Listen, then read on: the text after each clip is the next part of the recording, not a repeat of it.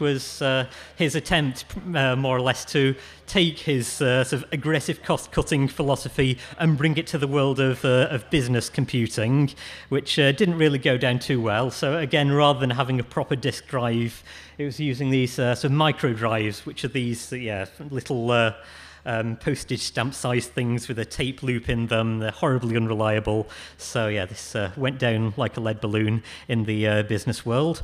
Although one of them did find its way into the hands of a certain uh, Finnish uh, student. Uh, in, who uh, who had bought a Spectrum with his uh, his pocket money, uh, sorry, a QL with pocket money, and uh, used it to tinker around with uh, operating systems. So uh, we all know how that turned out. So, uh, in the end, Sinclair had to sell sell off the uh, the Spectrum intellectual property to uh, this guy Alan Sugar, and uh, the computing world moved on. Uh, the, the, people moved on to the uh, the Atari ST and the Amiga and that sort of thing, and all across the country, the spectrums generally got handed down to everyone's younger sibling, and uh, which meant that there were com- companies like Codemasters that uh, briefly made a killing out of these sort of cheap and cheerful, cartoony adventure games that was sort of attractive to this uh, new younger market and sold for like just a couple of pounds, so it was just total pocket money stuff. And uh, and in the uh, in the Spectrum community today, I think Dizzy is is kind of a bit of a Marmite thing. It's, uh, yeah, a few nods there. It's uh, it, it's kind of in a way, it was the beginning of the end of, for the Spectrum. It's uh, it's like a bit of derivative, and uh, it's uh, and so yeah, they, they they carried on for a few years for this sort of thing, but uh, eventually the the supply of software from the likes of Codemasters also dried up, and the magazines uh, um, sort of ran out of things to to to report on, so they ended up closing down. This is the uh, big final issue, which uh, is big in the sense that it was uh, 64 pages rather than the uh, 32 that it had gone down to. I think there was a general feeling that the uh, well, the, it's possibly the magazine cover tapes were part of the death of the uh, the, the, Spectrum software industry because people were saying that these magazines were just a pamphlet with a with a cover tape on the front. So this sort of for the people who'd sort of stuck with the Spectrum right to the end, we sort suddenly uh, dropped into the lurch a bit, and uh, and then well, there was still a community around, and it was being kept alive with these uh, sort of fanzines, this sort of mail order, and it's a, in a way, a, it's a pretty nice, uh, n- nice sort of uh, community in its own way. But uh, it meant we'd kind of turned from it being the mass market thing to us uh, being this sort of eccentric preservationists, sort of like uh, like steam engine enthusiasts or something. Incidentally, uh, do you reckon that steam engine enthusiasts get really pissed off with the steampunk people? Because saying, yeah, you're just trying to ride on the coattails of the whole steam engine thing, but you're not actually really living the real thing. Not really getting into the whole valves and things. it's, uh, they must get really pissed off with that stuff. Uh, anyway, yes, so. Um, for a, for a long time, the, uh, the being propped up by these sorts of, uh, of fanzines, and uh, I'll uh, sort of derail a bit into BitSite, which I uh, didn't get any slides for, which is another sort of pretty active uh, um, subculture within a, within a, subculture of the spectrum, which is the demo scene, which I've sort of mentioned at uh, some length in previous talks, but just as a, a bit of a recap, this is well, it, it came out of uh, the uh, um, software piracy scene where pe- um, people would uh, would yeah, pirate these games, uh, break the uh, protection on them, and then to show that they'd that they'd done this, they'd put in a, a little intro sequence with a logo and some, a few flashy colours and things, and and to, to just as a sort of bit of digital graffiti, as it were. And uh, eventually, this sort of took on its, li- its own life as an art form in its own right, and uh, and people dropped the whole game cracking side of things and just focused on the demos. And uh, this went on on the Spectrum as well. It was uh, perhaps never quite as big as things like the Commodore 64 and the Amiga. But um, it, it, was, it was a fun thing to be a part of. It was um, people were, were, it was uh, the whole the mail swapping thing and uh, rushing home from school eagerly, uh, sort of hoping that there might be some uh, sort of some jiffy bag from a far off land like Poland or Czechoslovakia as it was then, and, or so or who knows where. And uh, and so people were you know, using these demos as ways of exploring the hardware and uh, just learning new tricks, and it's kind of. And I think that this was kind of this summarised the Spectrum scene as a whole in this sort of era. It wasn't really driven by commercial pressures, people were able to uh, to really explore the spectrum as a platform in its own right, and uh, and and really discover um, what's uh, um, what the the hardware is really capable of. And uh, one thing really sort of uh, um, fed into this was the rise of uh, emulators.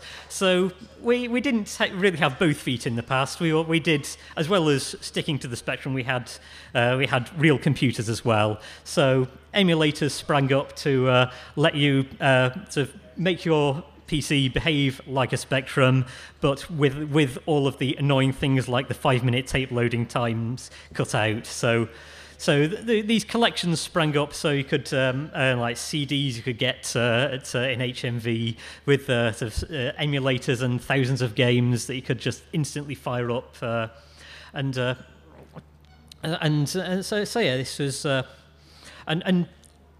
Uh, time as, as, time went on, people discovered a lot more. Uh, these emulators became more and more accurate, uh, and as well, uh, once the hardware was capable of emulating it at a lower and lower level. So, so, so the so as we discovered more about the spectrum, these uh, emulators uh, improved as well. Now, around the middle to the end of the 90s, uh, a, a, lucky few of us uh, got access to the internet, and uh, what we found was was something quite surprising. Was that what we thought was this sort of little um, little island, uh, this this um, this of tiny close knit community was just like one island out of many. And uh, so once people got onto the internet, started googling or not not googling Alta Vistering or whatever for uh, for the spectrum, we were discovering these other so other things happening around the world that we'd kind of missed out on the first time round. And so. Um, so one example of this was um, in during the uh, the Sarajevo War. There were um, a, a, few, a, a, couple of guys who, uh, in order to distract them from the horrors of this, they um, worked on uh, an, a Spectrum emulator of their own. And there's, there's an incredible story behind this of how they, they, they would have like maybe one or two hours of electricity a day and uh, well they probably have power cuts like we had just before but uh, um, so during that they'd be coding frantically and then during the rest of the time they'd be uh, just working out uh, algorithms on paper and uh, and, and in, in the end, they uh, came up with something that was a pretty competitive emulator for against the other things that existed at the time, um, and and and it's really sort of amazing what they came up with there. Uh, and so other bit other sort of bits of uh, um, the of where place where it tied in with the European history is the um, so there was uh, um, in in in the city of Torun in Poland. It uh, we it turned out there was. Um, this uh, signal, TV signal intrusion uh, staged by the uh, Solidarnosc, uh, sort of anti-Soviet uh, movement, and uh, th- this was uh, done by a, a couple of uh, academics uh, at uh, uh, University uh, using a spectrum and this uh, of random uh, bits of electronics. So. Uh, the spectrum's obviously been an inspiration to hackers uh, throughout the ages, and uh, it's, and it's also interesting to see how it's sort of feeding into these moments of European history. It's like the, the spectrum is this sort of computer equivalent of Forrest Gump. It's this underdog where it's, uh, it's sort of surfacing every now and then and uh, in these uh, unexpected ways. But uh, perhaps the uh, most intriguing of all was uh, what was going on in, in Russia. Because um, it turned out that, um, so so the, uh, the, the the spectrum. Uh, it turns out at some point someone had managed to smuggle uh, an original spectrum through the uh, the Iron Curtain, and uh, because because of the um, the, the the the way that Sinclair had had sort of driven down the costs and eliminated all this custom circuitry, like uh, Ben Heck was saying about uh, th- there was only really one custom chip, and uh, if you were determined enough, you could replicate that in standard logic. And that's exactly what uh, what uh, the uh, boffins in Russia did. They came up with these um, these designs that were basically they got of pa- passed around just these blueprints for these uh, spectrums reinvented with, uh, with, with the locally available components, and pretty much every city and town in in the Soviet Union that would have some kind of uh, electronics geek who would be uh, who, who would be have this little cottage industry of making these spectrums out of whatever bits and pieces they had to ha- they had to hand these uh, whichever sort of, uh, sort of you know, keyboards and things, whatever bits of plastic. Uh, so it's all sorts of uh, yeah, what, like really whatever materials they had to hand. Uh, so if they had like a job lot of these uh, five-pin DIN sockets, then that's what they would use for all the connectors, regardless of whether it's actually made any sense for that particular application. Because yeah, it just make, make do with uh, whatever materials they had available. This is the Sinclair philosophy reborn, effectively. And uh, the, the uh, sort of intriguing thing with this was that um, the big, um, along with all the hardware, of course, came the software, pirated, of course, and uh, and and they in fact had disk systems because uh, they, well, they they it was. Uh, because they, they, they kind of adopted one British uh, disk system. The, the, Sinclair never brought out an official disk uh, system. He was still insistent on the microdrive stuff.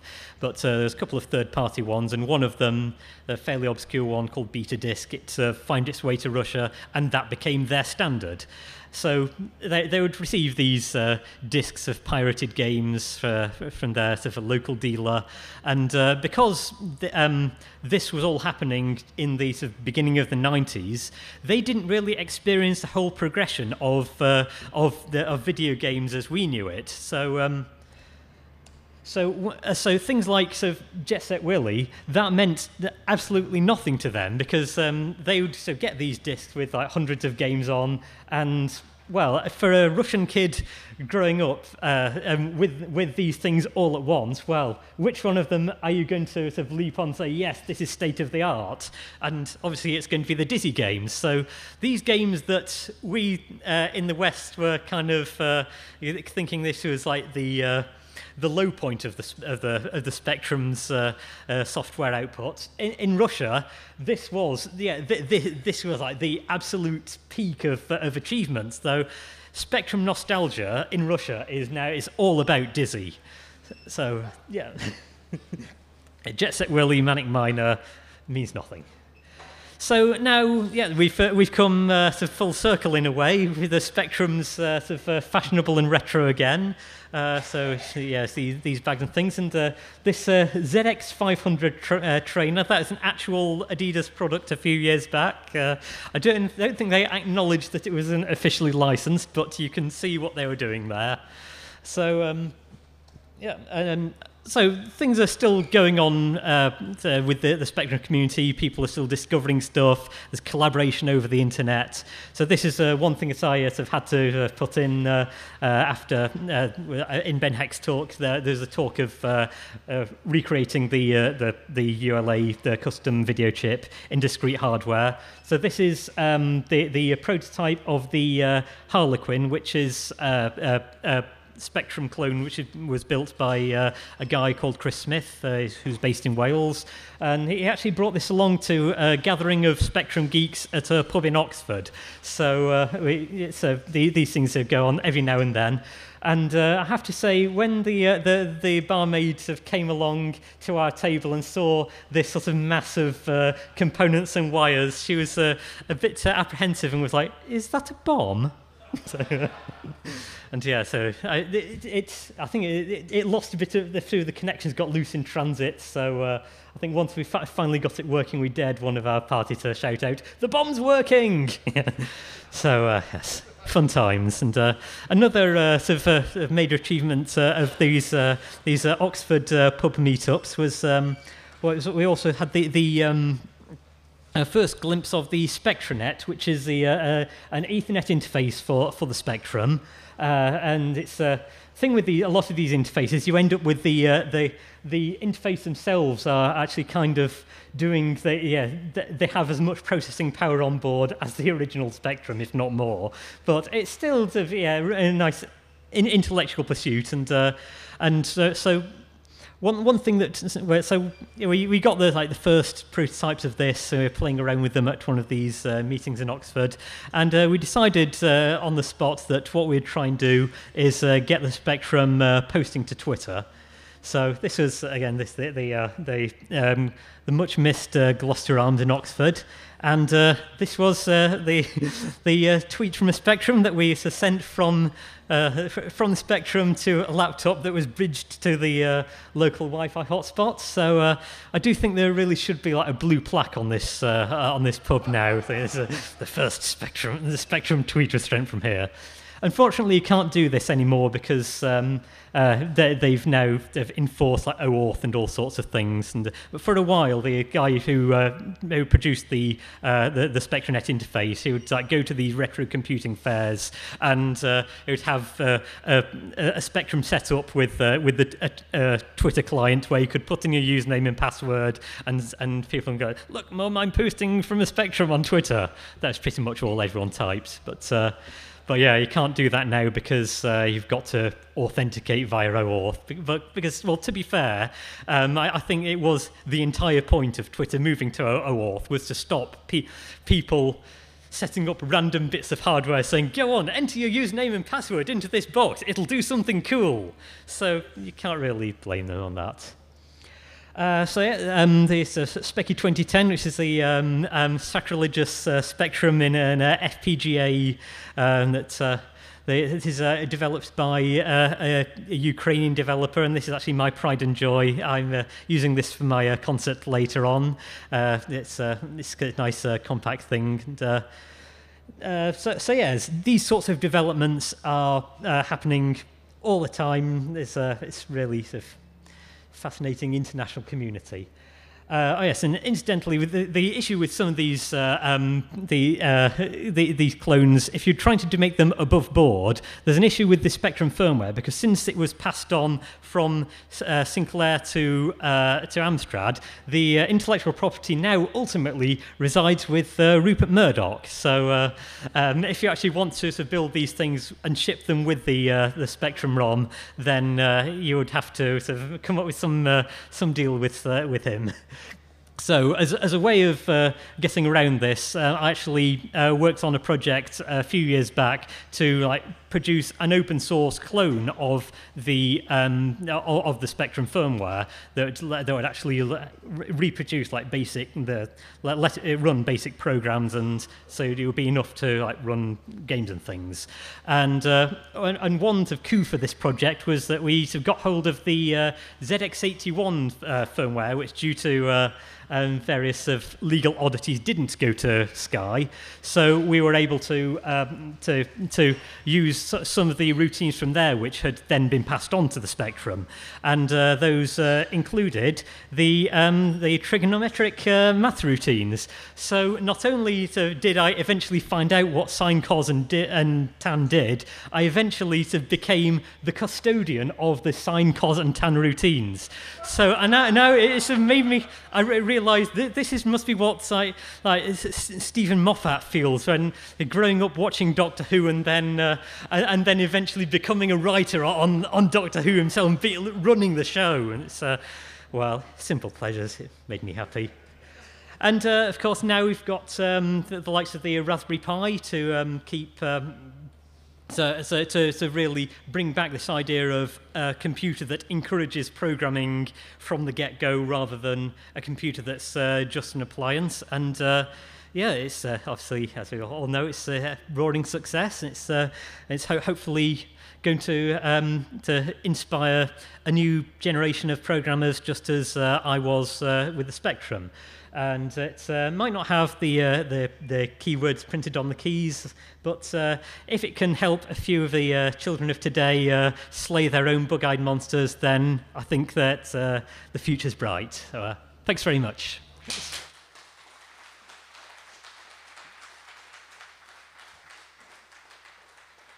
yeah, I think, yeah.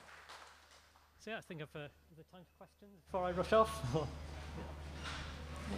yeah. Yeah, so yeah, I think there's uh, time for questions. Uh, yeah. Okay. yeah. Um, why don't you uh, just explain this? Uh, I've noticed uh, sometimes discussed with Spectrum, they also uh, related with the Coupe. Uh, oh yeah. Is there any specific reason why?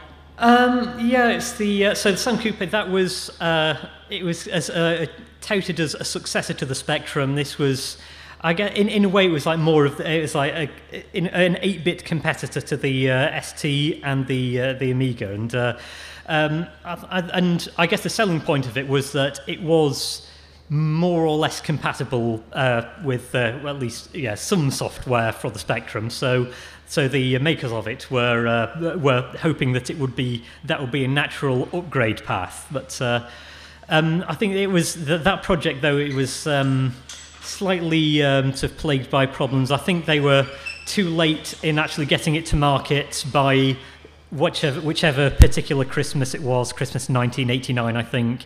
So they'd kind of missed the boat, and people had already moved on to the uh, ST and the Amiga, which meant that the, the, it never really became this sort of breakout um, of success in its own right. It always became a sort of postscript to, to the spectrum. But uh, yeah, throughout the 90s, it was, yeah, I say, it was a like, close knit community. A lot of the fanzines were sort of spectrum and Sam Coupe based. So there's, yeah, a lot of uh, shared heritage there. Okay. Right.